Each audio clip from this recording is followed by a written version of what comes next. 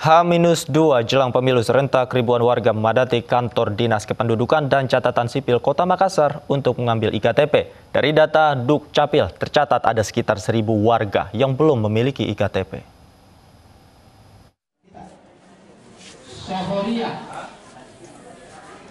Antrian warga memadati kantor Dinas Kependudukan dan Catatan Sipil Kota Makassar yang terletak di Jalan Teduh Bersinar Makassar, Sulawesi Selatan, Senin siang kemarin.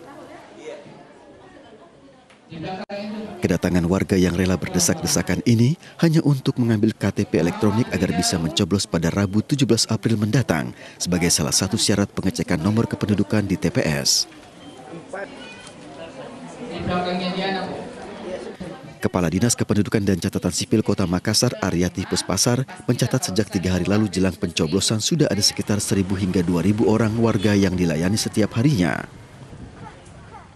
Jadi sejak minggu lalu bahkan pada hari Selasa itu kami melayani mulai jam 8 pagi sampai jam 8 malam dan tembus nomor antrian 1200 lebih.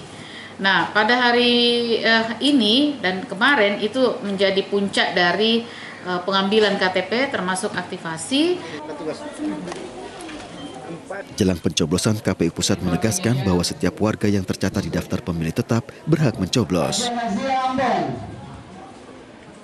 Pemilih yang terdaftar dalam daftar pemilih tetap dan tambahan hanya bisa mencoblos di TPS wilayah domisili sesuai IKTP.